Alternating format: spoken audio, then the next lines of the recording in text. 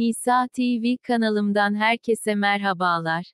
Seda Sayan programında Havva Nur ve Murat arasında yine bir engel daha. Bu sefer de ev krizi ortaya çıktı. Havva Nur'un ev beğenilmemesi her şeyi değiştirdi. Beton Kemal ve Nuriye Hanım sonuna kadar arkasındaydı. Fakat Havva Nur'un davranışlarından dolayı Beton Kemal kararını değiştirdi artık Havva Nur'u kabul etmeyeceklerini dile getirdiler. Nuriye Hanım günler sonra sessizliğini bozdu. Havva Nur gibi bir gelinim olsun istemem. Murat madem bizi silmiş.